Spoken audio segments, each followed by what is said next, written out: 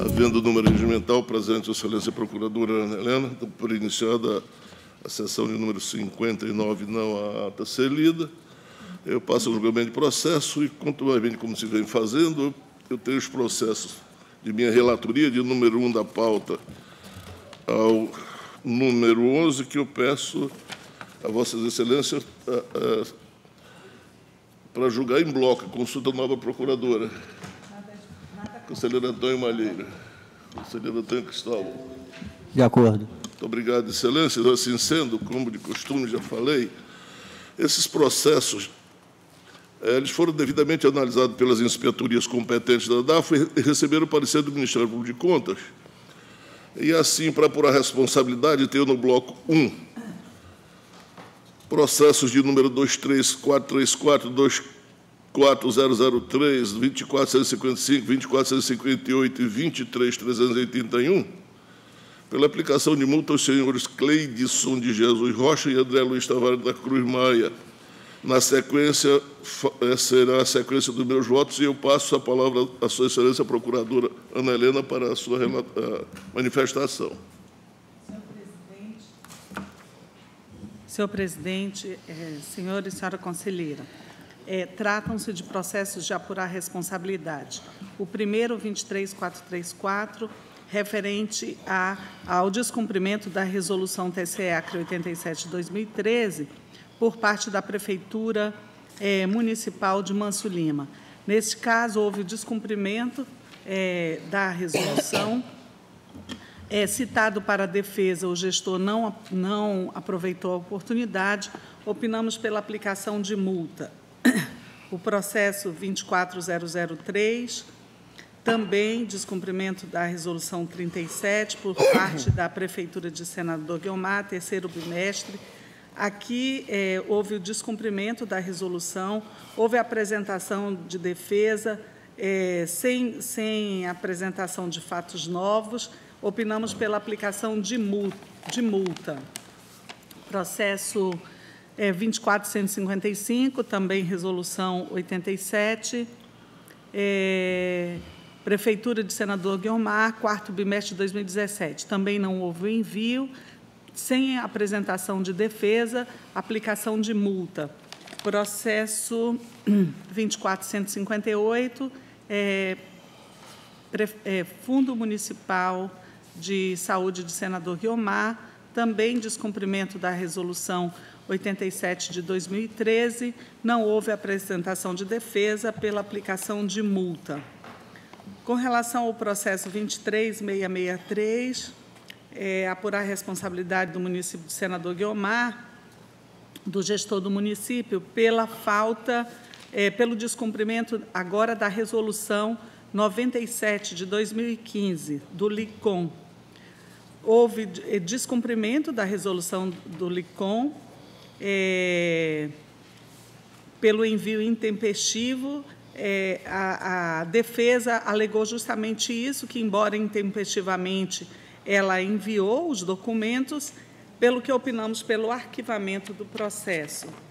Processo é, 24334, 2018, agora descumprimento da resolução 102, é, por parte do Instituto de Administração Penitenciária APEN, sexto bimestre de 2017. Aqui ocorreu o envio, é, o envio é, intempestivo, mas nos termos da unificação das decisões, tendo em vista que o sistema de pessoal ainda estava é, em construção, opinamos pelo arquivamento do processo. O mesmo com relação ao processo 23579, descumprimento também da 102 pela Prefeitura de Mancio Lima. Houve o envio intempestivo e opinamos pela, é, no, é, pelo arquivamento do processo sem prejuízo de notificação à origem para cumprimento é, da obrigação no prazo. É, processo 22578, também descumprimento da resolução 102 por parte do Fundo Municipal de Saúde é, de Cruzeiro do Sul. Aqui não houve a remessa E aqui a análise entendeu que não, não foi possível verificar esse envio conjunto. Faltou, faltaram alguns dados e não foi possível confirmar se houve o envio conjunto com os dados da Prefeitura. Mas, tendo em vista de que não, não havia essa apuração, opinamos pela notificação da origem para que faça esse envio em separado, seguido do arquivamento é, do processo. Processo número 9, é, também resolução 102, Fundo Municipal é, de Saúde de Mâncio Lima. Aqui não houve o envio, citado para defesa, o gestor não aproveitou a não aproveitou a oportunidade, pelo que opinamos pela aplicação de multa. No de número 10, também ainda a resolução 102, é, por parte do Fundo Municipal de Saúde é, de Rodrigues Alves. Nesse caso, ocorreu o envio tempestivo de forma consolidada com a Prefeitura, pelo que opinamos pelo arquivamento do processo. É até o 11, o 11 já é aposentadoria. É isso. Já, já, já vai fazer aposentadoria não, também? Não, não. ok. Até é o 10, então, né? Ok. Ok. Sendo, senhores conselheiros, senhora procuradora, senhores conselheiros, eu voto, como disse, sequencialmente, pela aplicação de multa aos senhores Cleidson de Jesus Rocha e André Luiz Tavares da Cruz Maia, prefeitos à época do município de Mancio Lima, Acre Senador Guilmar, respectivamente, no valor de R$ 3.570 para cada, pelo descumprimento às resoluções TCE Acre, número 87 de 2013, artigo 2 e parágrafo 1 e 102 de 2016. Artigo 2 parágrafo 1 para conhecimento no prazo de 30 dias após a notificação do Instituto, dando ciência a esta Cor de Contas, de acordo com a Santa Regimental 01/2000, artigo 138, parágrafo 3 e suas alterações posteriores, e os processos de número 23, 385, 22, 578, 23, 579, 24, 344, 23, 663, desde aplicar multa aos senhores Francisco Ernilson de Freitas, prefeito do município de Rodrigues Alves à época, Manuel Pereira da Silva, gestor do Fundo Municipal de Saúde do município de Cruzeiro do Sul, à época, Isaac de Souza Lima, prefeito do município de Mâncio Lima, à época, Martim Filos Cavalcante Recel e Frank Goldenberg do Nascimento Léo de Oliveira, gestores do Instituto de Administração Penitenciária APEN à época, e André Luiz Tavares do Couto Maia, prefeito do município Senador Guilmar, consubstanciado na tomada de decisão proferida em ata da reunião realizada em 31 de outubro de 2017, que isentou o gestor da combinação imposta, desde que as informações sejam prestadas, sejam prestadas ainda que intempestivamente. São os meus votos, Excelência. Põe votação pela ordem. Conselheiro Antônio Malheiro. Acompanho o voto, Excelência. Conselheiro Antônio Cristóvão. Acompanho Vossa Excelência. Decidiu-se a unanimidade nos termos do voto do conselheiro relator. Agora sim, continuo a palavra, com a palavra, Excelência, da Procuradora, com os processos de aposentadoria. Passa a palavra, Vossa Excelência, para emissão de parecer. Todos agora, né? Todos os seus. É, Tratam-se de, de inativações de servidores públicos é, civis e militares do Estado do Acre, é, vinculados ao regime próprio de previdência. Análise técnica procedida constatou a legalidade é, das concessões, pelo que opinamos pelo registro da matéria neste âmbito, a teor do inciso 3 do artigo 61 da Constituição Estadual. É o pronunciamento, senhor presidente. Sendo, excelências, prossigo em todos os processos. Eu voto pela legalidade e o registro das aposentadorias, pelo encaminhamento de cópias de todos os processos ao Instituto de Previdência do Acre, Acre Previdência, para as providências cabíveis, ainda pelo, por todos os processos, pela notificação dos servidores para que tomem conhecimento da decisão desta Corte de Contas e para que adotem as providências que entenderem cabíveis e no processo 16026, pela notificação dos pensionistas do policial militar, senhor Pedro da Silva do Nascimento, subtenente militar do Estado do Acre, para tomarem conhecimento desta decisão. São os votos, excelência. E põe em votação pela ordem, conselheiro Antônio Malheiro. Acompanho o voto, Excelência. Conselheiro Antônio Cristóvão. Acompanho Vossa Excelência. Deu-se unanimidade nos termos do voto conselheiro relator. Agora com a palavra o conselheiro Antônio Malheiro, processo 24238. Obrigado, Excelência. Excelência, eu pediria para julgar também em bloco estes processos que são relativos à apuração, dois relativos à apuração de responsabilidade pela Resolução 87, dois pela 97 e os outros pela 102 até o, até o processo 27 da pauta. Siga, siga excelência. Obrigado, Excelência. É, Então, é nesse mesmo sentido, em função do descumprimento do envio, é, o primeiro é da, do quinto bimestre de 2017 da Câmara Municipal de Feijó, envios de dados contábeis, o segundo também de quinto bimestre de 2017 da Câmara Municipal de Tarouacá, da mesma forma, resolução 87.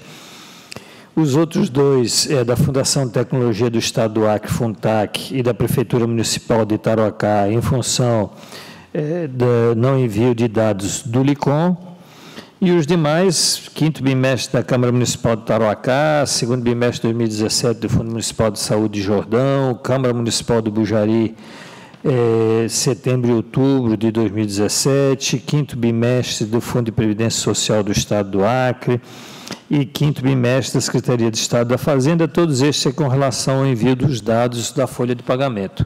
Eh, são os sucintos relatórios, Excelência. Até o processo 27, não é isso? Isso. A palavra a nova procuradora para a sua manifestação. Senhor presidente, senhores conselheiros, senhora conselheira, é, é, tratam-se de processos de apurar responsabilidade. Os dois primeiros, como já disse o conselheiro, em face do descumprimento da resolução é, TCE Acre 87 de 2013 por parte da Câmara Municipal de Feijó, quinto bimestre de 2017, e Câmara Municipal de Tarauacá, também quinto bimestre de 2017. Nestes dois casos, foi verificada a falta de envio das informações. Citados para defesa, os gestores não apro- aproveitaram a oportunidade, pelo que opinamos pela aplicação de multa. No processo 21 e 22, é, o 24073 é, em relação é, da Fundação de Tecnologia do Estado do Acre, FUNTAC, e o 23664, Prefeitura Municipal de Tarauacá, é, com relação ao descumprimento da Resolução é, 97 de 2015. O da FUNTAC ocorreu o envio é, intempestivo das informações.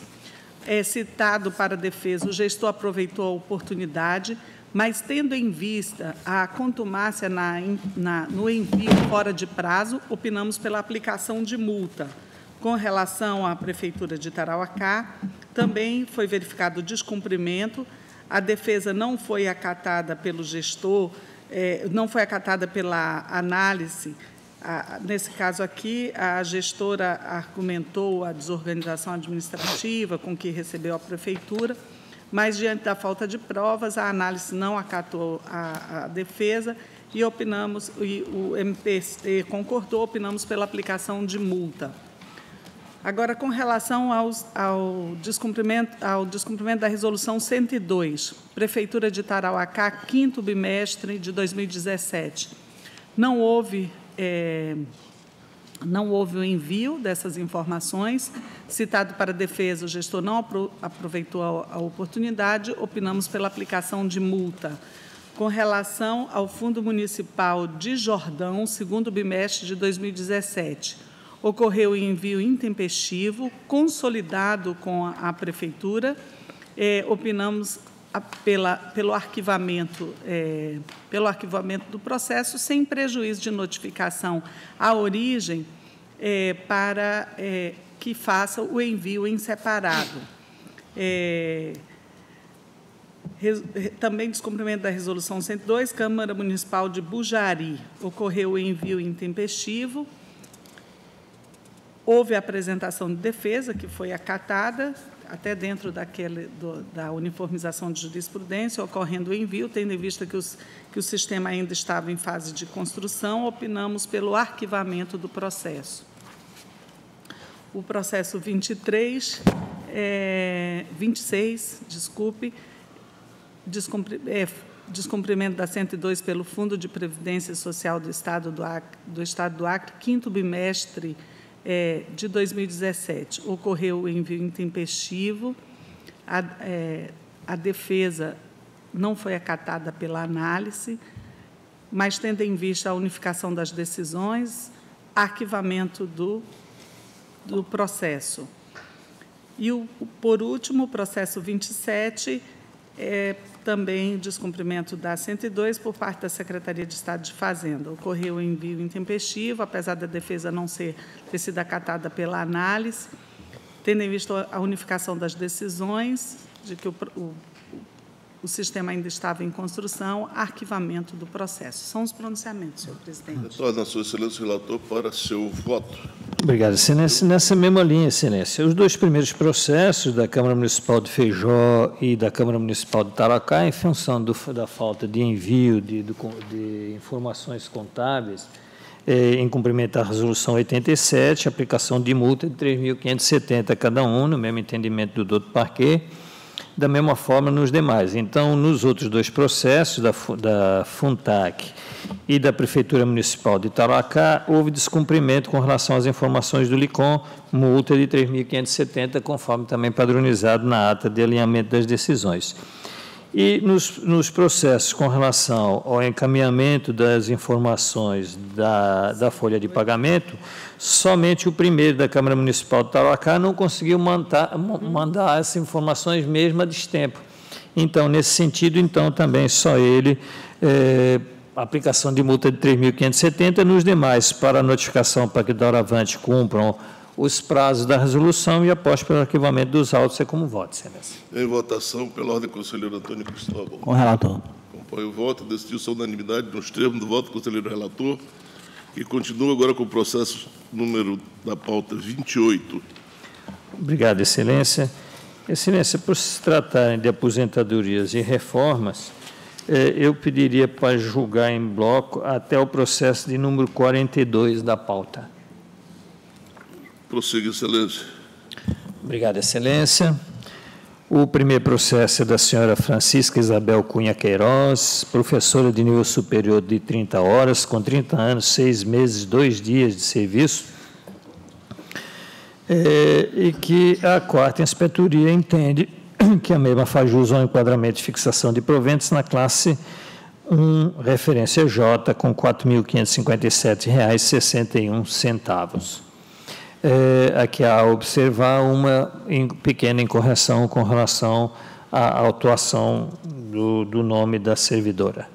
Com relação ao segundo processo, que é da senhora Catarina Dimas de Lima, auxiliar operacional de Serviços Gerais da Secretaria de Saúde, tem 30 anos e 83 dias de serviço, e a quarta inspetoria atesta que preenche todos os requisitos constitucionais para fazer jus à aposentadoria voluntária integral por tempo de contribuição, com enquadramento no grupo 1, referência 8, com R$ 1.552,60.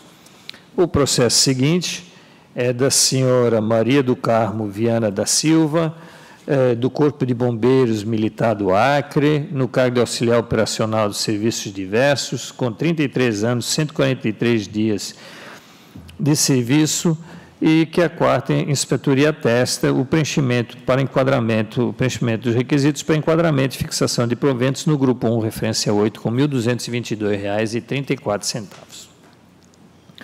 Processo seguinte da senhora Maria das Dores de Souza Damasceno, é, da Secretaria de Saúde, auxiliar operacional de serviços diversos, com 30 anos e 227 dias de serviço, é, e enquadramento proposto com fixação de proventos no grupo 1, referência 8, com R$ 1.552,60.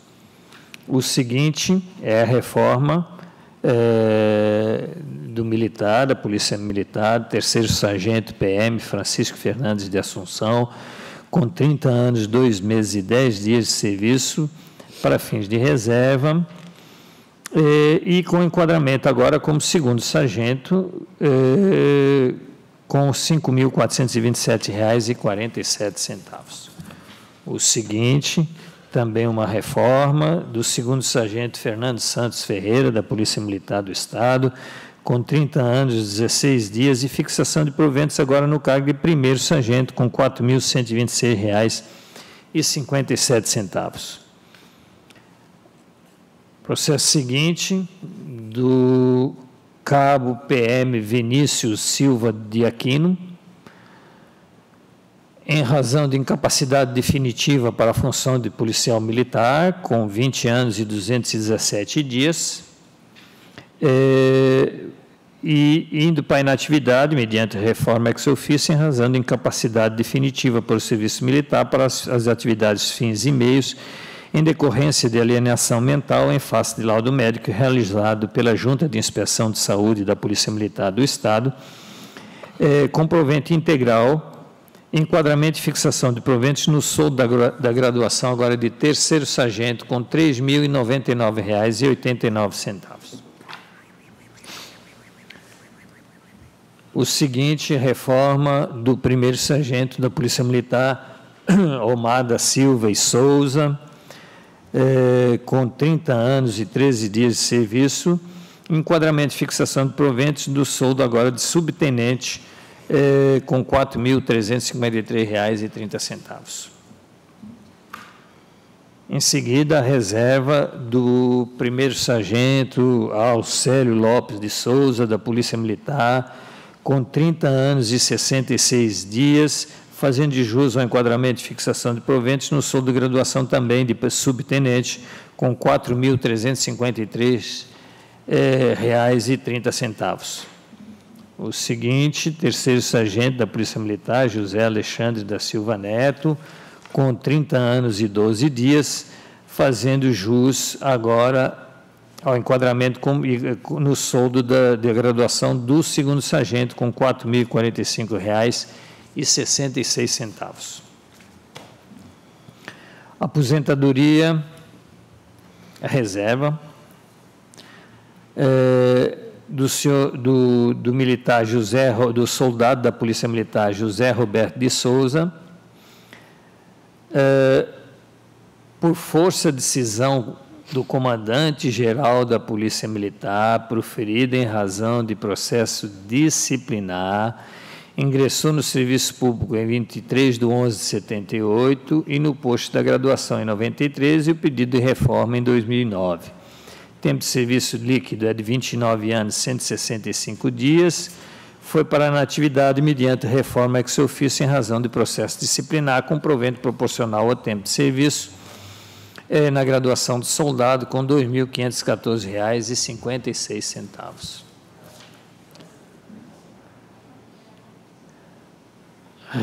a reserva do subtenente PM Anazildo Augusto da Silva, com 30 anos e 24 dias, é, com enquadramento agora como segundo tenente PM, com R$ 7.001,83.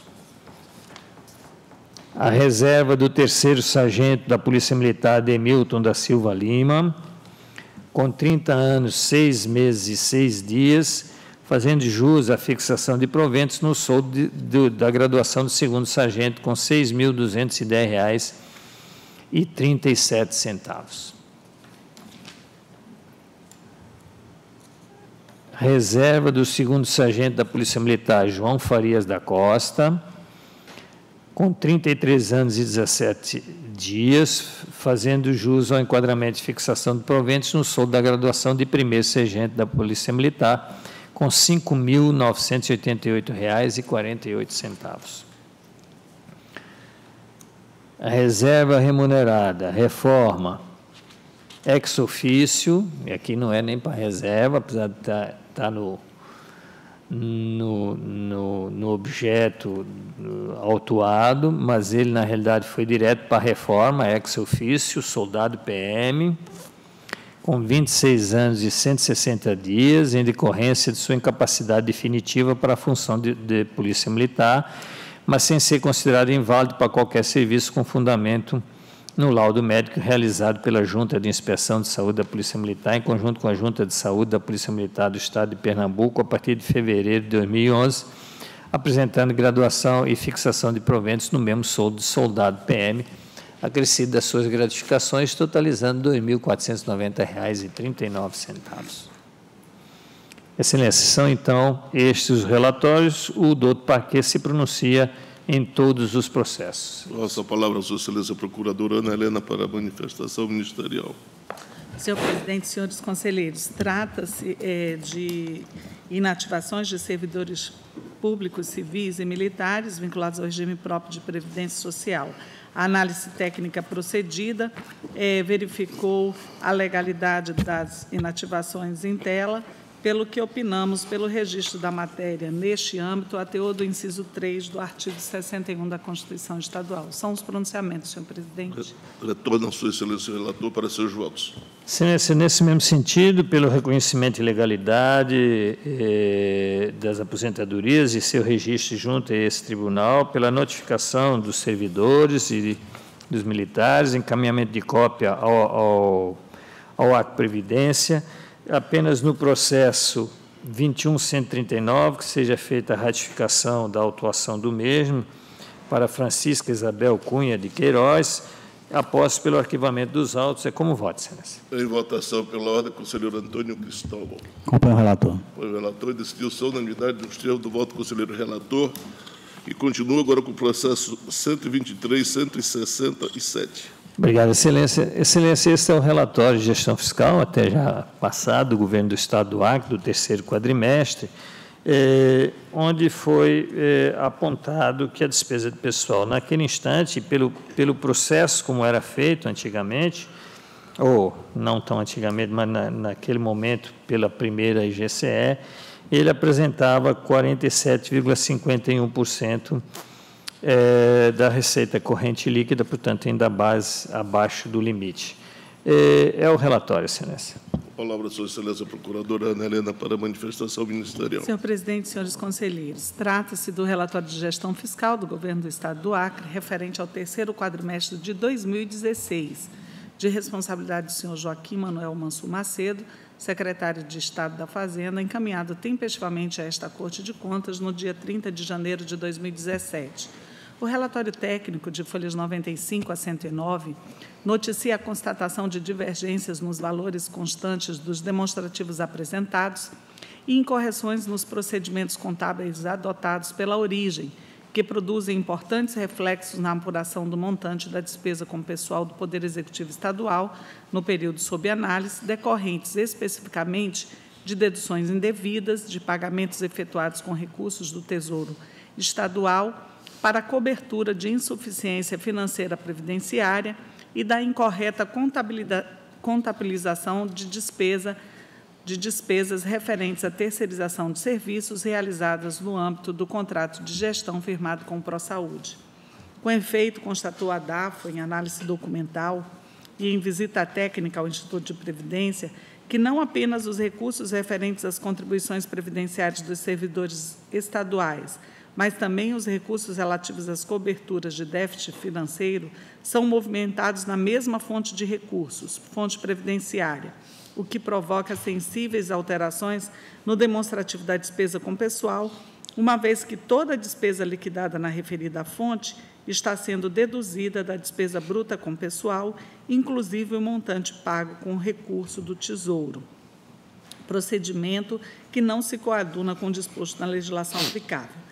Além disso, verificou a área técnica que o ente deixou de contabilizar, sob a rubrica adequada, os gastos relativos à substituição de servidor de empregado público efetivamente realizados no âmbito eh, de contrato de gestão que mantém com o Serviço Social de Saúde ProSaúde, omissão que, a par do apurado no item 2.1 do relatório 2.1.1 do relatório técnico, provoca significativos reflexos na despesa é, com o pessoal. Com efeito, em sede de análise complementar, constatou a área técnica que a contabilização adequada apenas das despesas efetuadas no âmbito do contrato de gestão com ProSaúde elevaria a despesa com o pessoal doente para o percentual de 47,51% da receita corrente líquida, superior ao limite prudencial previsto no artigo 20, inciso 2, combinado com o artigo 22, parágrafo único da Lei de Responsabilidade Fiscal, fazendo incidir, incidir, portanto, em desfavor do ente, as vedações contidas no artigo 22 do mesmo, do, do, do mesmo diploma. Por fim, verificou que a origem não providenciou, não providenciou a publicação no prazo próprio dos demonstrativos consolidados do relatório de gestão do relatório de gestão fiscal dos poderes e órgãos estaduais, conforme determina o item 4.8 do Manual de Demonstrativos Fiscais, sexta edição da Secretaria do Tesouro Nacional. Ante exposto, embora o exercício em questão encontre-se encerrado, mas considerando a natureza continuada da despesa com pessoal, este MPC opina pela emissão de alerta à origem para que observe o limite da despesa com pessoal previsto no artigo 20, inciso 2, a linha C da Lei de Responsabilidade Fiscal, 49% da receita corrente líquida, dando-se-lhe ciência de que o atingimento do limite prudencial impõe a obrigação de observância das vedações previstas nos incisos do parágrafo único do artigo 22 da LRF. Por fim, opinas pela notificação da origem para que apresente os esclarecimentos reputados necessários acerca do, detalhe, do detalhamento da despesa com inativos e pensionistas, devendo observar, ademais, a necessidade de correção dos procedimentos contábeis adotados para adequação ao disposto na legislação aplicável, bem como a necessidade de publicação tempestiva do RGF consolidado dos poderes e órgãos estaduais, conforme determina o respectivo Manual de Demonstrativos Fiscais. É o pronunciamento, senhor presidente. Retorna, seu silêncio, relator, para seu voto. Obrigado, excelência. É exatamente nesse mesmo sentido, excelência. É é, apenas com relação à notificação com relação a esse percentual, porque ele já foi feito na prestação de contas de 47,51, deixamos de emitir este alerta, mas emitimos um alerta ao senhor Joaquim Manuel Macedo, secretário da Fazenda, em vista é, da necessidade de reclassificação, que também já é do conhecimento da, do Executivo, da despesa referente ao contrato de gestão com o ProSaúde, bem como a inclusão de montante deduzido indevidamente de parcela da despesa com inativos e pensionistas pagos com recurso do Tesouro Estadual. Ainda a emissão, para tomar conhecimento do conteúdo da análise, é, que em relação à despesa com o pessoal procedeu a essa inclusão do serviço de saúde, do ProSaúde, por força da decisão emitida no Acórdão 10.108, e que realiza o cómputo das despesas oriundas do contrato de gestão em referência nos próximos mostrativos eh, da despesa com pessoal e ainda da aglutinação das contas conforme indicou o parquê. Eh, após pelo arquivamento dos autos, é como voto, excelência. Em votação pela ordem do conselheiro Antônio Cristóvão. Acompanho o relator. Põe o voto, decidiu sua unanimidade nos termos do voto do conselheiro relator. Suspenda a sessão por cinco minutos. Vamos lá.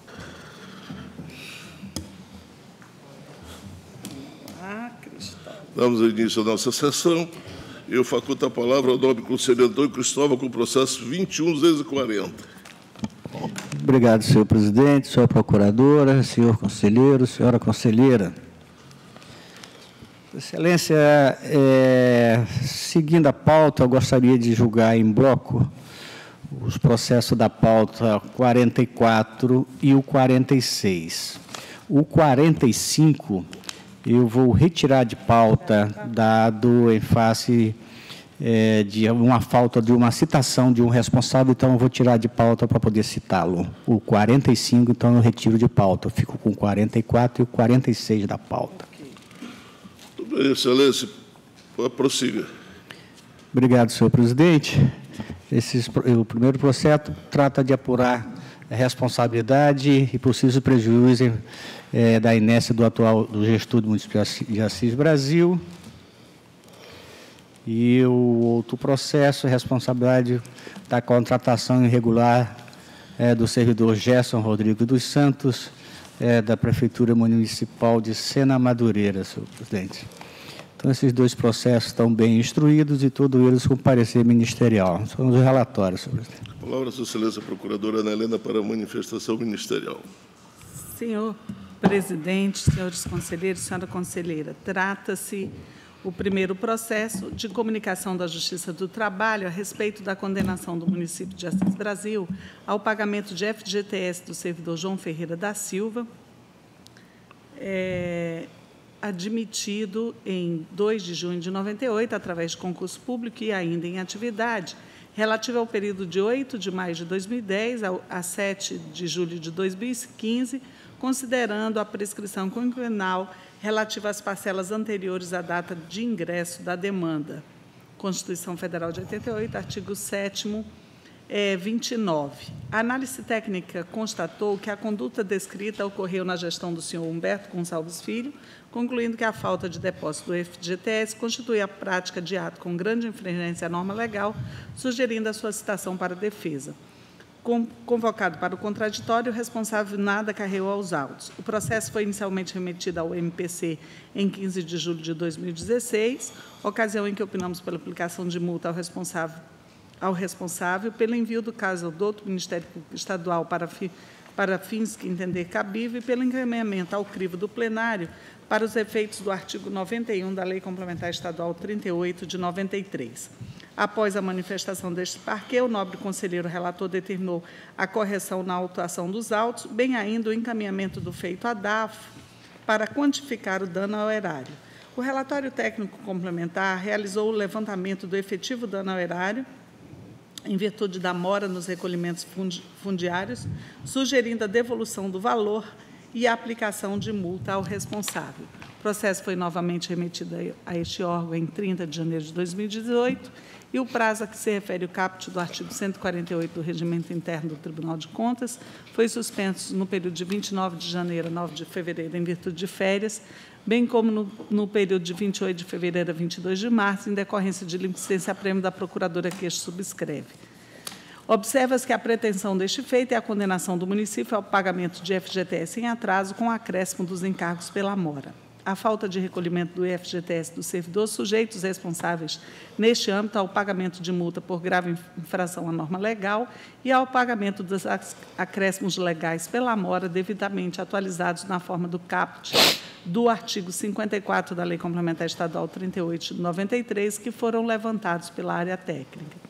Ante o exposto, este PC opina pela condenação ao senhor Humberto Gonçalves Filho, prefeito à época, a devolver aos cofres do município a importância de R$ 309,17, em virtude da mora nos recolhimentos fundiários, atualizada e acrescida dos juros de mora devido nos termos do caput do artigo 54 da Lei Complementar Estadual 38 de 93 é, pela aplicação de multa acessória ao responsável, dosada ao crivo do plenário, em razão do dano causado a erário, consoante disposto no artigo 88 da Lei Complementar Estatal 38 de 93, pela aplicação de multa ao responsável, com fulcro no inciso 2 do artigo 89 da Lei Complementar Estadual 38 de 93 e no assento regimental 01 de 2000, pela falta de recolhimento de FGTS, contrariando a legislação pertinente à responsabilidade fiscal, e pelo envio do caso ao douto Ministério Público Estadual para os fins que entender cabíveis em face da lei de improbidade, bem como o encaminhamento ao crivo do plenário para os efeitos do artigo 91 da Lei Complementar Estadual 38 de 93. Com relação ao outro processo, né, que aí é apurar responsabilidade na possível contratação irregular do servidor. Processo 23963, trata-se de comunicação da Justiça do Trabalho sobre a admissão irregular do senhor Gerson Rodrigues dos Santos como técnico eletricista de setembro de 2009 a 2 de janeiro de 2017, no âmbito do Poder Executivo de Sena Madureira, ali considerada nula a falta de concurso público, mediante a condenação à verba de FGTS, salários retidos e acréscimos legais.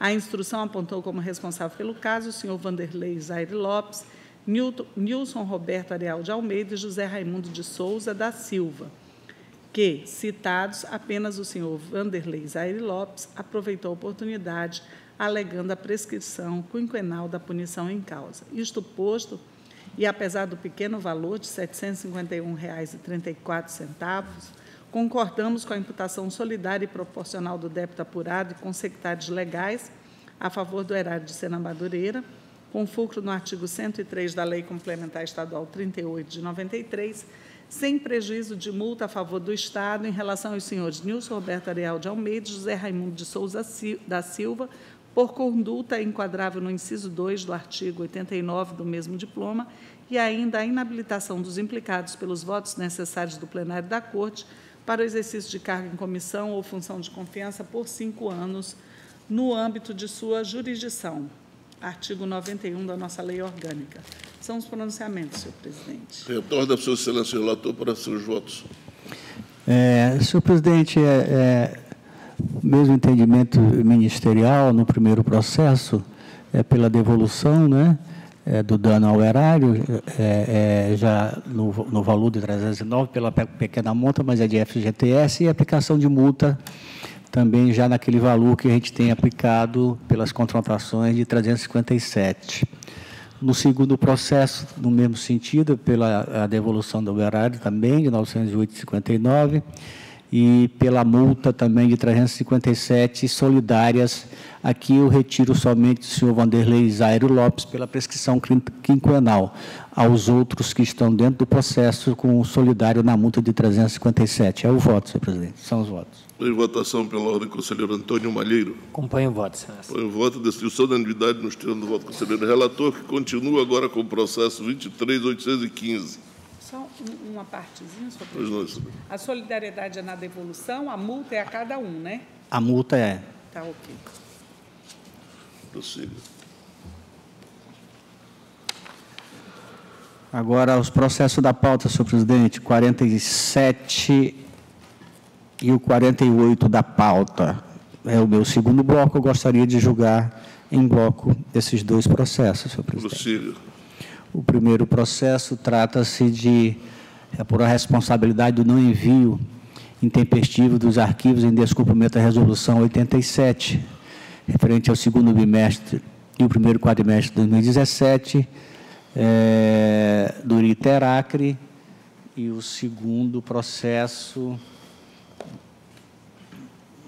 é, é por a responsável também, responsabilidade por resolução TC 87, referente ao segundo bimestre é, da Prefeitura Municipal de Sena Madureira, senhor presidente. Todos os processos, esses dois processos estão bem instruídos e eles estão com todos com o parecer ministerial. São os relatórios, senhor presidente. Palavra, sua excelência, procuradora Ana Helena, para a manifestação ministerial. É, é, Tratam-se de processo de apurar responsabilidade em face da Lei Complementar 87 de 2013. O primeiro é do Instituto de Terras do Acre, relativo ao segundo bimestre de 2017. É, eu vou me permitir ler esse aqui, porque esse teve uma, alguma uma peculiaridade aqui. É, Trata-se de processo aberto por solicitação da DAFO, com vista a apurar a responsabilidade pela falta de envio das informações solicitadas pela Resolução 87 de 2013. A análise técnica procedida pela terceira inspetoria verificou o cumprimento por parte do atual gestor da referida norma e sugeriu o arquivamento dos autos. O processo foi encaminhado à XMPC no dia 27 de junho. Compulsando os autos, verifica-se que houve o descumprimento da Resolução 87 de 2013, é, pelo que opinou pelo arquivamento dos autos. Aqui eu acredito que houve pelo anterior, houve pelo atual e o anterior não foi citado. E aí ele, acatamos essa situação e opinamos pelo arquivamento. Com relação ao segundo, também, descumprimento da, da 87 por parte da Prefeitura Municipal de Sena Madureira, é, houve a falta de envio, houve a apresentação de defesa intempestiva, é, descumprimento da resolução sem apresentação de, de de justificativas ou excludentes é, acatadas, né, e opinamos pela aplicação de multa. É o pronunciamento, senhor presidente. Retorno, senhor excelência relator, para seus votos. Mesmo entendimento, senhor presidente, no primeiro processo pelo arquivamento e no segundo processo é, o implica a multa, a multa é, do segundo processo no valor de 3.570. Após pelo arquivamento, são os votos, senhor presidente. Em votação pela ordem do conselheiro Antônio Malheiro. Acompanho o voto, senhor. Acompanho o voto, decidiu solenidade nos termos do voto do conselheiro relator, que continua agora com o processo 24.020. Obrigado, senhor presidente. Esses processos agora são meu terceiro bloco aqui da pauta. São os processos é, que apuram a responsabilidade sobre a resolução TCE 102, envio eletrônico dos dados relacionados à folha de pagamentos e controle de atos de pessoal. E esses processos são da pauta do, do 49 a 57 da pauta, qual gostaria também de julgar em bloco. Prossiga. O primeiro processo trata-se é, da resolução 102, terceiro bimestre de 2017, da Prefeitura de Sena Madureira, o segundo da Fundeb de Sena Madureira, o terceiro é, da Prefeitura Municipal de Manuel Urbano, quarto do Fundeb de Manuel Urbano, o quinto do município do, do Fundo Municipal de Saúde de Manuel Urbano, o sexto Fundo Municipal de Saúde de Manuel Urbano, do Fundeb de Santa Rosa do Purus, do Fundeb de Santa Rosa do Purus e o outro do Fundo Municipal de Santa Rosa do Purus. Todos os processos também, senhor presidente, estão bem instruídos pela inspetoria e todos os processos também com o douto parecer do ministerial. São os relatórios, senhor presidente. Palavra, sua excelência procuradora Ana Helena, para a manifestação ministerial. Senhor presidente, senhores conselheiros, senhora conselheira, tratam-se é, de processo para apurar responsabilidade em face do descumprimento da resolução TCE, TCE 102 de 2016.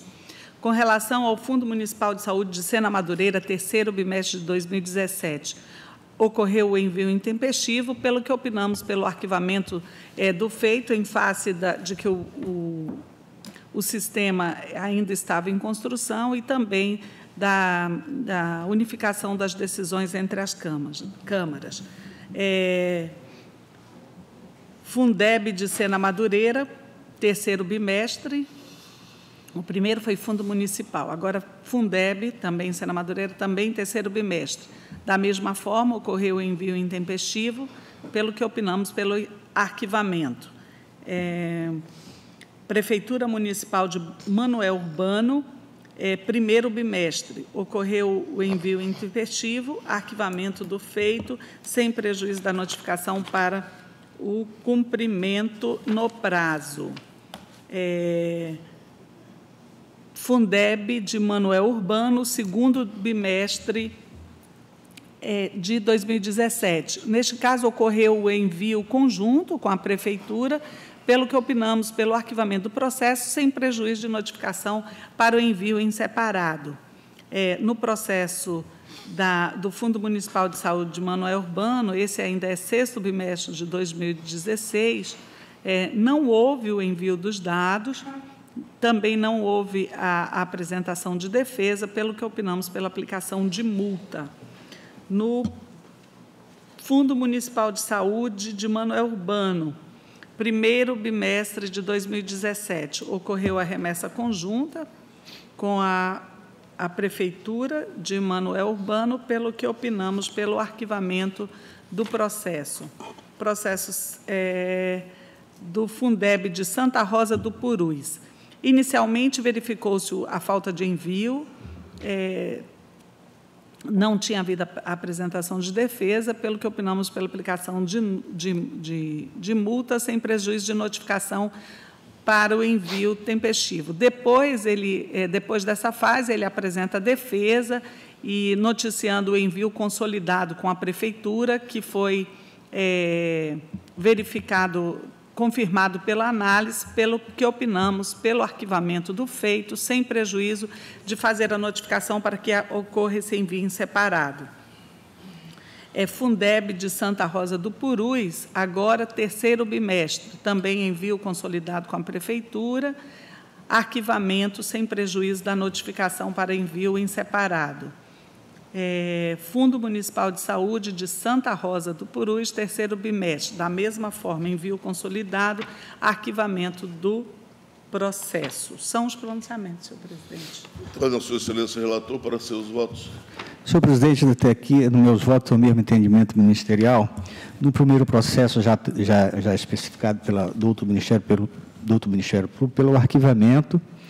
No segundo processo também, é, é, pelo arquivamento, no terceiro processo pelo arquivamento, é, no quarto, que é o 52 da pauta, é, é, pela notificação, é, pelo envio intempestivo também, notificação é, desta decisão, ser notificado o prefeito. No 53, eu imputo a multa aqui, pelo não envio e aplicação de multa aqui no valor de R$ 3.570 e notificação para enviar os dados em 30 dias.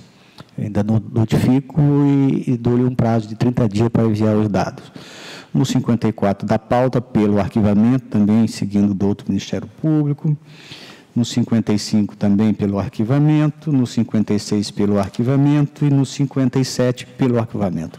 São os votos, senhor presidente. Em votação pela ordem, conselheiro Antônio Malheiro. Acompanhe o voto, excelência. Foi o voto, decidiu sua unanimidade no exterior do voto do conselheiro relator, que continua agora com o processo 13634, que é o 58 da pauta. Obrigado, senhor presidente. O processo seguinte da pauta trata-se de aposentadorias.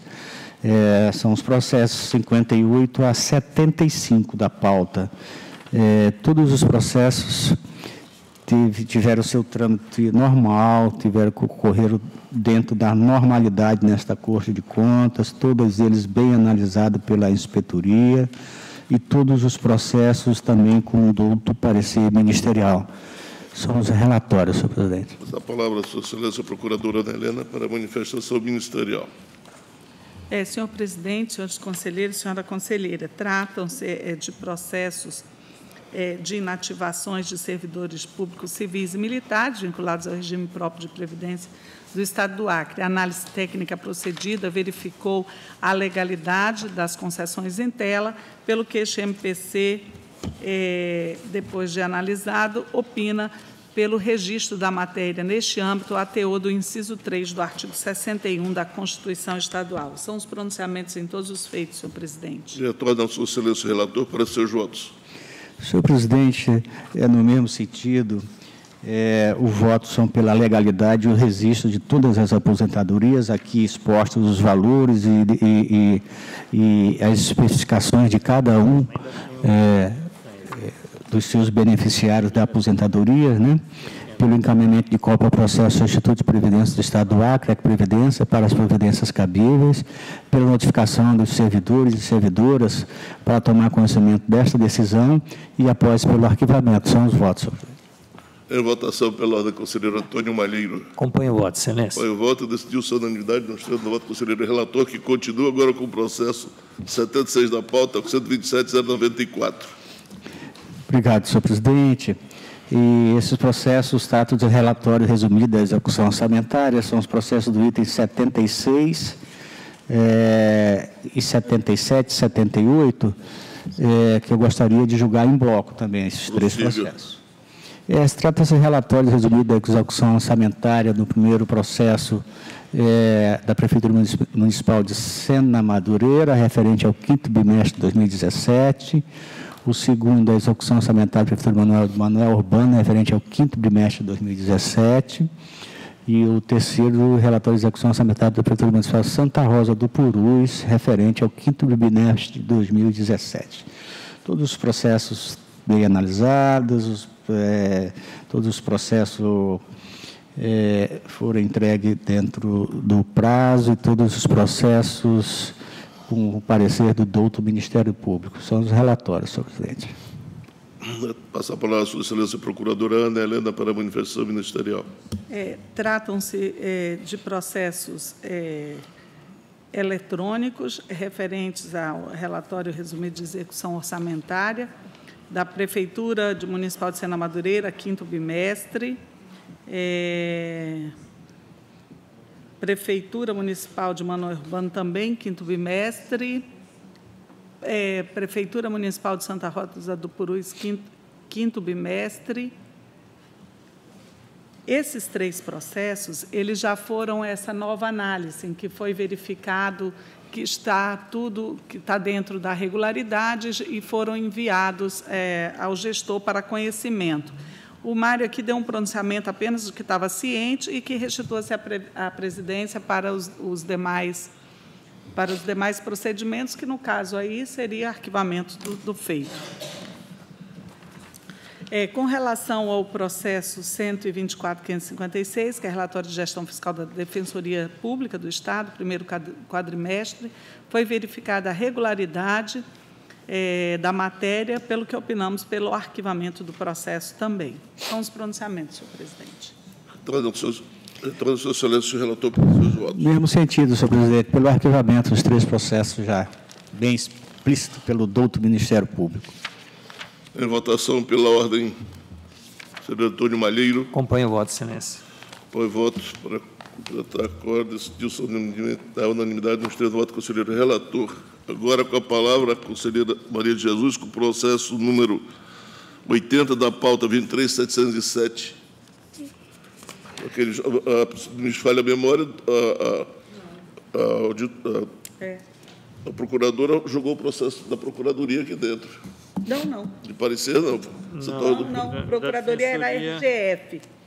Era 124,556, no caso. Acho que faltou, faltou no 79. Falta um deles. É essa a minha pergunta, exatamente, que eu tinha escutado. Ah, sim, sim. Ouvi alguma coisa nesse sentido, porque eu é pensei é porque que um, é, um, é de, um é de execução orçamentária e o outro é de gestão Eu não fiscal. tinha notado isso, né, mas exatamente era diferenciada a execução. É, ficou faltando de gestão. É, exatamente. É porque eu já fiz, eu pensei que era. É, exatamente, ela, ela é. falou e eu pensei que você então, tinha. Então, perdão, é, então vamos lá.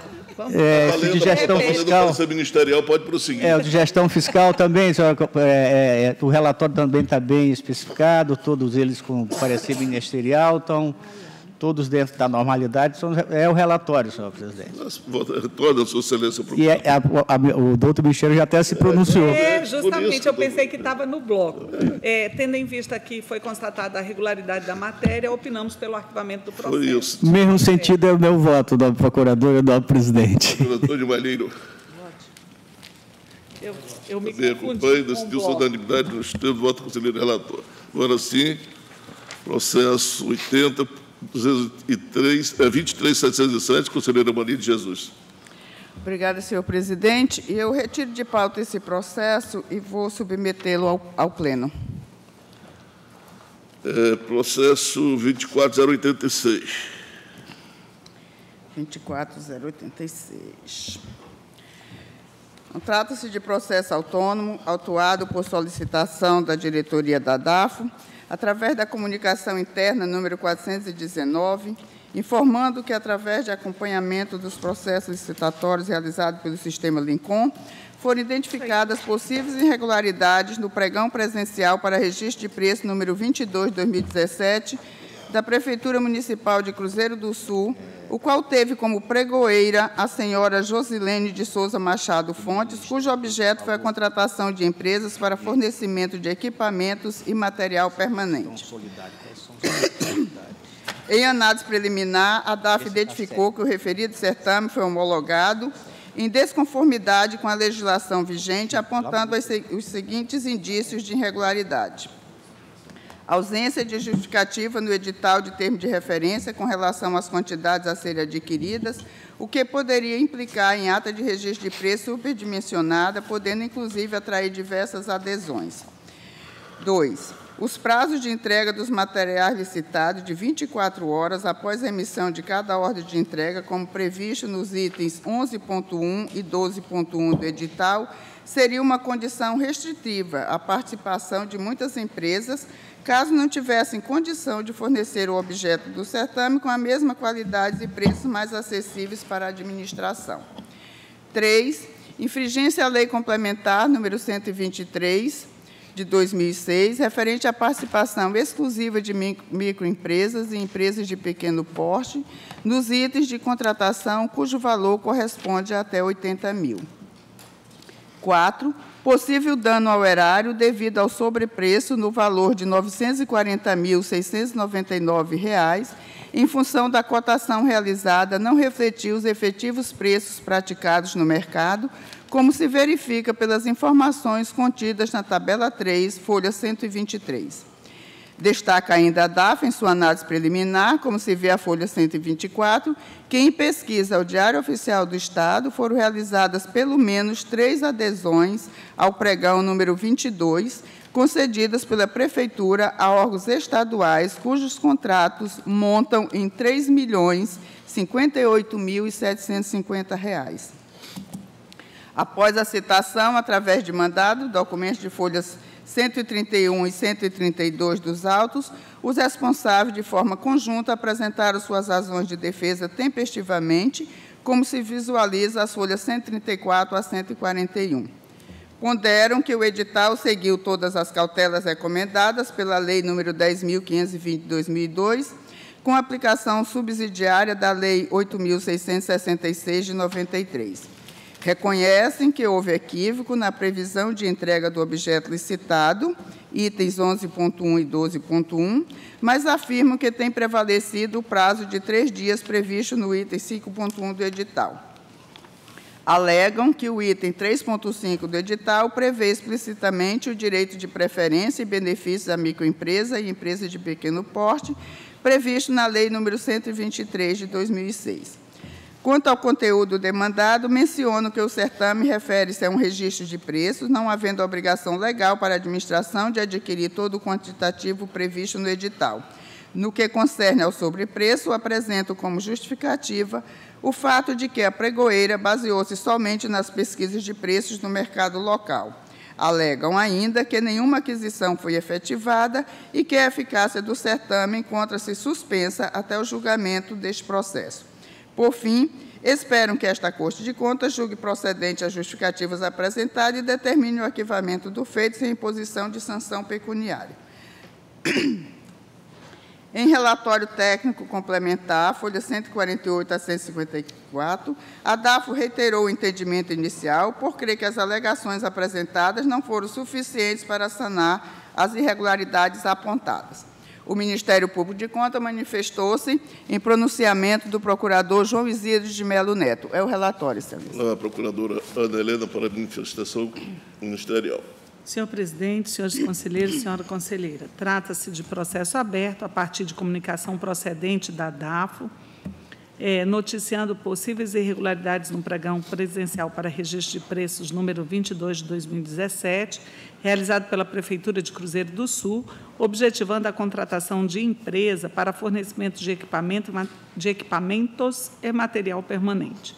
O referido certame foi homologado no valor de R$ 9.638.000 em favor da, da empresa Dream Indústria e Comércio Limitada o relatório técnico de auditoria, as folhas 119 e 127, concluiu que o certame tela foi homologado em desconformidade com a legislação vigente, restando caracterizados o comprometimento dos princípios da isonomia e da obtenção da proposta mais vantajosa previstos no artigo 3 caput da Lei 8666 de 93, em razão das seguintes irregularidades registradas em sua execução prazo exíguo para entrega dos itens licitados, 24 horas da data da ordem de fornecimento, comprometendo a competitividade do certame, infringência à Lei Complementar 123 de 2006, em razão da ausência de exclusividade para a participação de microempresas, de microempresas e empresas de pequeno porte para os itens estimados até 80,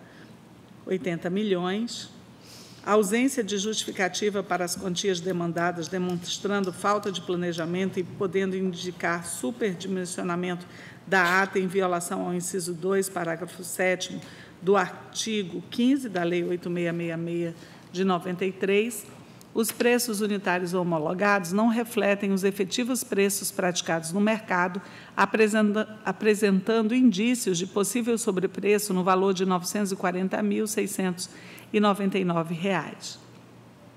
Também foram registradas impropriedades relacionadas à ausência de critério de reajuste, de critério de atualização financeira e ocorrência de três adesões ao pregão 22, cujos valores contratados já alcançam um montante de R$ 3.058.750, conforme tabela 4, a folha 24 do relatório técnico.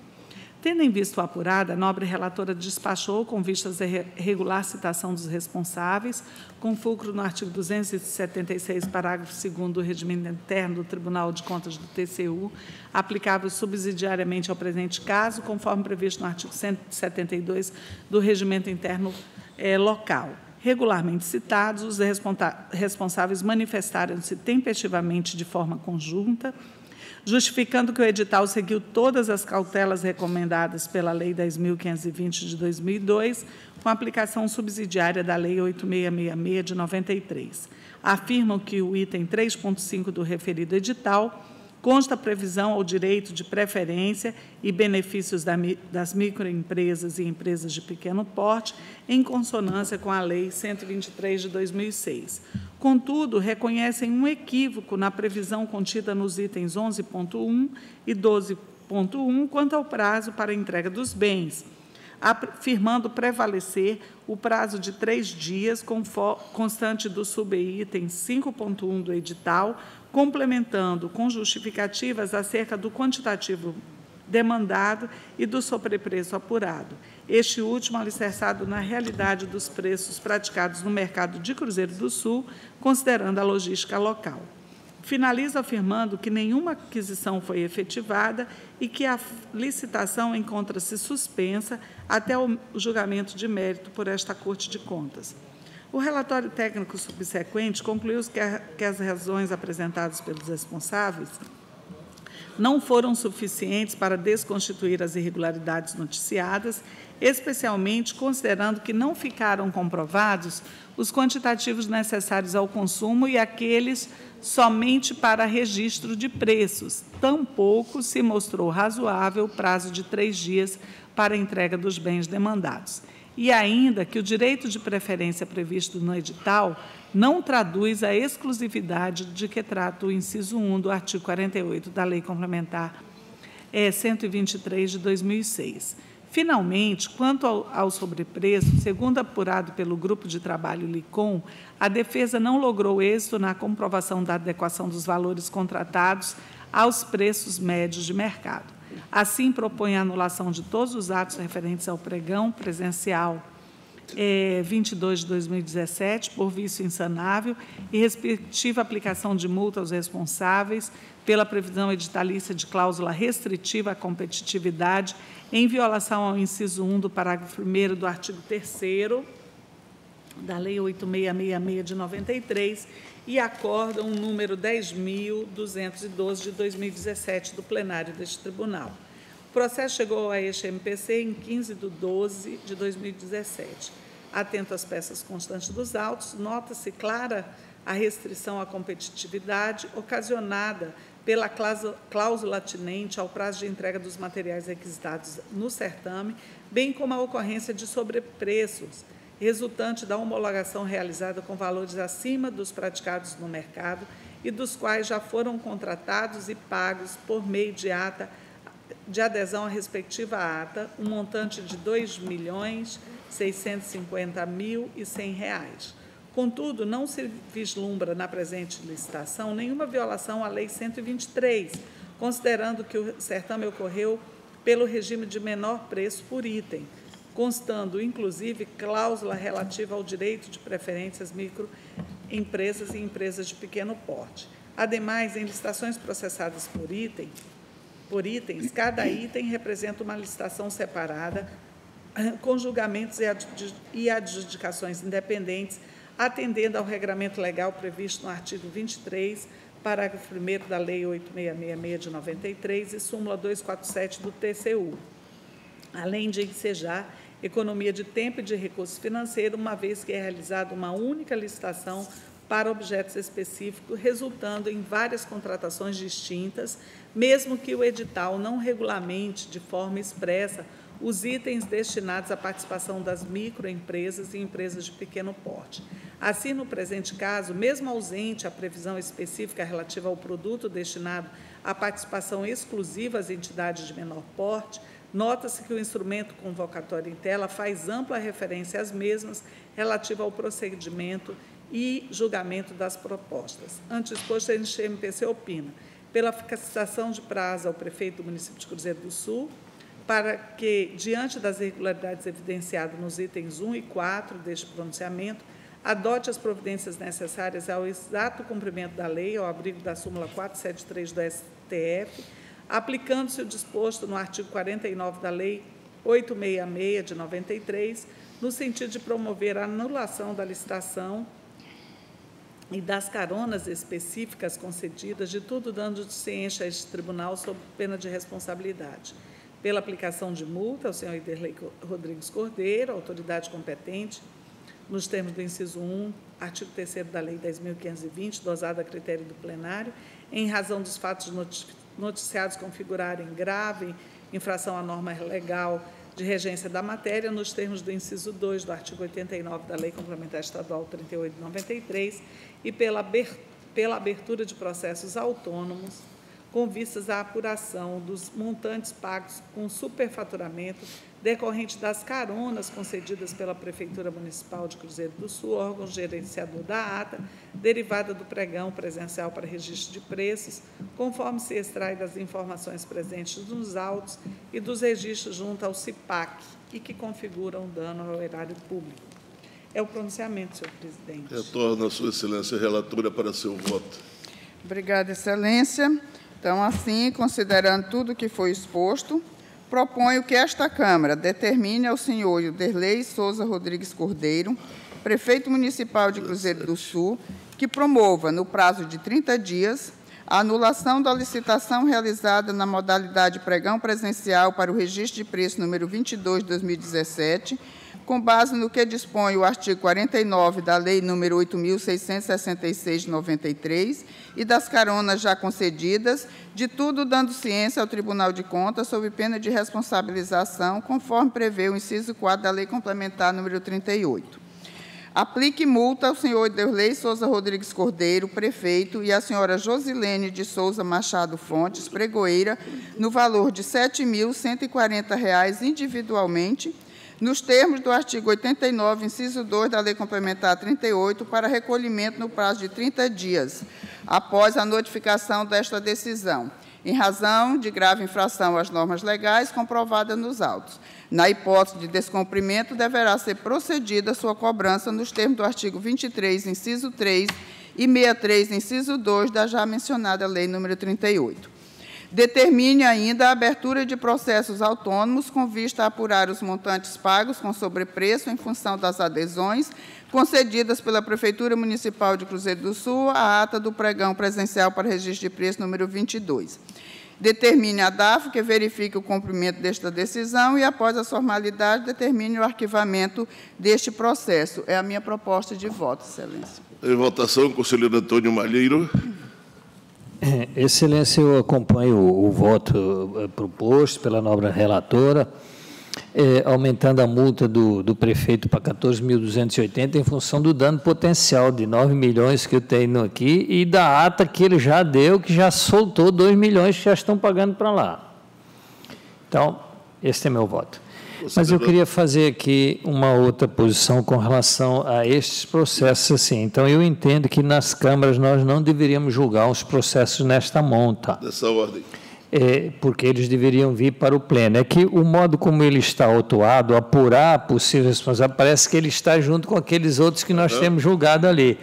E, e não. Então, assim, a minha sugestão, e agora até faz sentido nós fazermos isso, para que haja uma agilidade nesse processo, uma vez que a doutora Jesus está entrando de férias, então é até pertinente isso.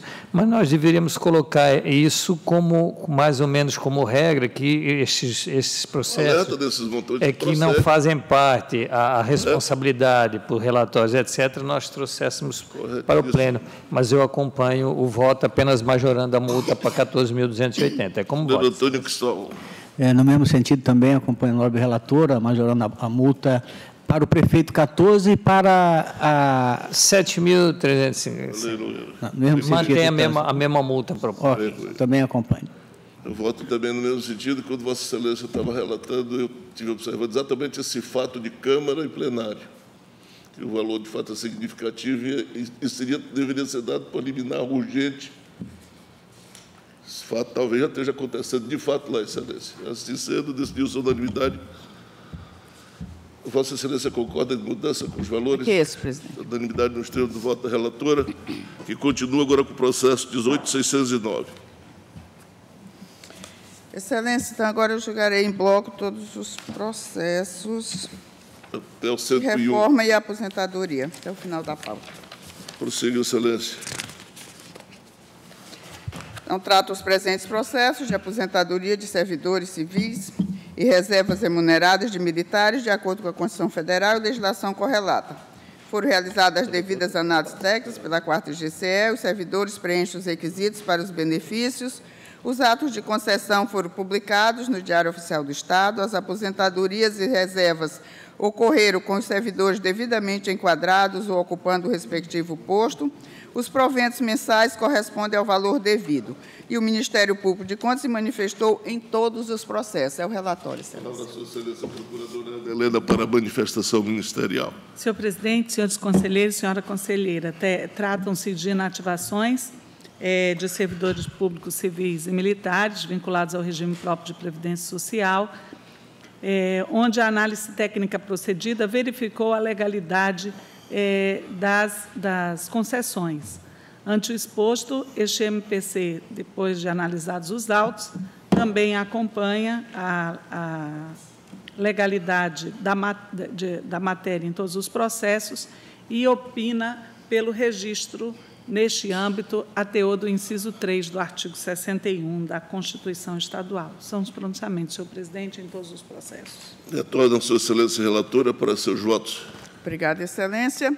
Então, ante o exposto, proponho que esta Câmara considere legal os atos de aposentadoria dos servidores Raimunda Nonata Gomes Feitosa, Maria Cilda Gomes, Maria Antônia da Silva Lins, Maria Hilda Correia Lima, Maria Olinda de Oliveira, Joana Bezerra de Oliveira, Maria Isabel Bárcio Torres, Maria Erotilde da Silva Oliveira, João Almeida Lira, e os atos de transferência para a reserva remunerada dos militares João Ricardo Moraes Soares, Antônio Costa de Souza, Aldo Ferreira Lima, Erivan de Souza Uchoa, Sebastião Mendonça Góes, Pedro Tadeu Muniz de Oliveira, Antônio das Graças de Miranda, Agostinho Gonçalves da Costa Xavier, Darino Canuto da Silva, Francisco da Chaga Souza e Flávio Ferreira Pires, concedendo-lhe o competente registro. Determine o encaminhamento de cópia dos processos ao Instituto de Previdência do Estado do Acre para as devidas providências. Determine a notificação dos servidores para tomar conhecimento desta decisão e determine o arquivamento dos processos após a formalidade de estilo. É como propõe nos meus votos, Excelência.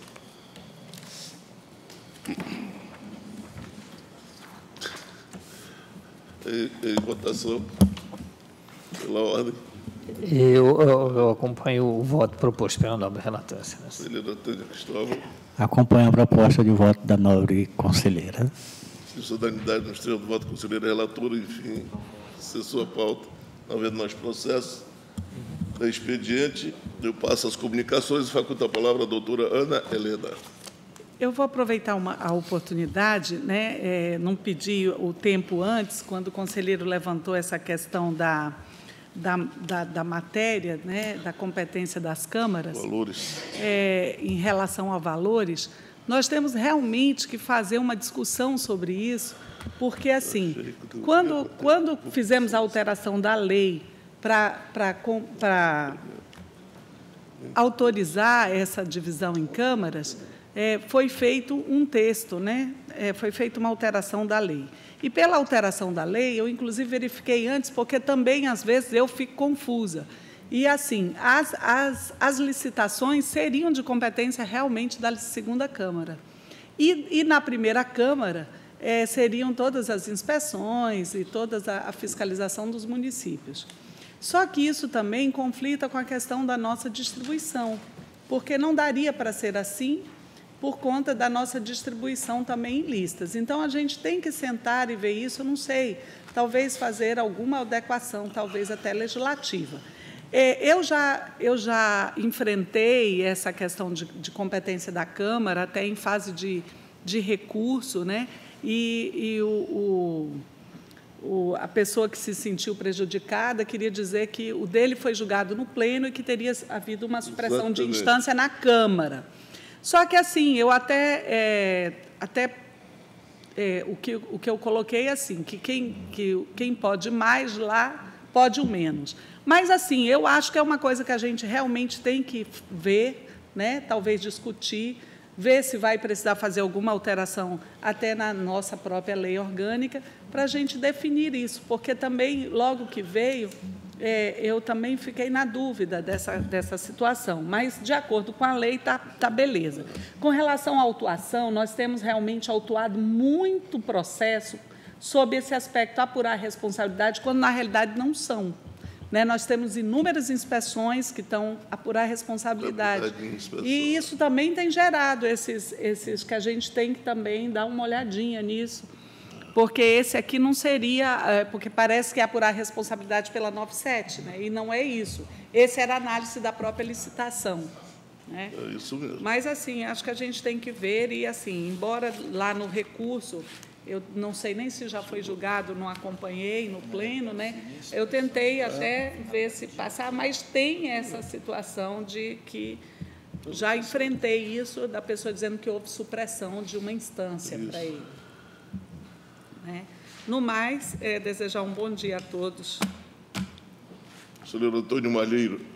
Silêncio na mesma linha, e realmente esse processo acabou dessa forma. Quem se julgado pelo Pleno, então, melhor, com, melhor composto estava, então, o Pleno, e é, é, mais, mais capacitada estava, então, a a decisão, porque é embasada em cima de sete votos e não em cima de, de três. É, então, e assim ficou e permaneceu.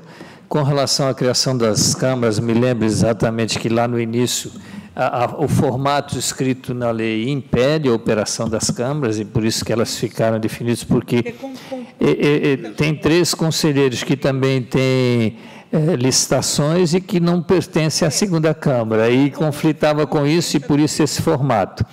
E o que ficou faltando foi exatamente agora transcrever na lei é, este formato, que é o único que permite o funcionamento das câmaras, senão elas não conseguem operar. Cumprimentar todos os presentes, se não é nada mais a comunicar. Conselheiro Antônio Cristóvão. No mesmo sentido também, é, já exposto aqui pela nobre procuradora, o nobre conselheiro, de mais dar um bom dia a todos. Conselheira Maria de Jesus. Também só cumprimentar a todos, senhor presidente. Muito obrigada. Eu queria pedir ao nobre secretário da mesa que anote essa solicitação da previsão que está em ata para que nós possamos discutir isso em, em reunião administrativa. Eu, da mesma forma, agradeço a presença de todos e a lucidez dos conselheiros, a conselheira da procuradora Ana Helena, que também, quando eu vi a matéria, eu achei que seria muito é. para pouco. E o resto, desejar um bom fim de semana, não que nós estaremos juntos amanhã, Com mas certeza. agradecendo a todos e encerra a apresentação, marcou outro prédio e hora regimental.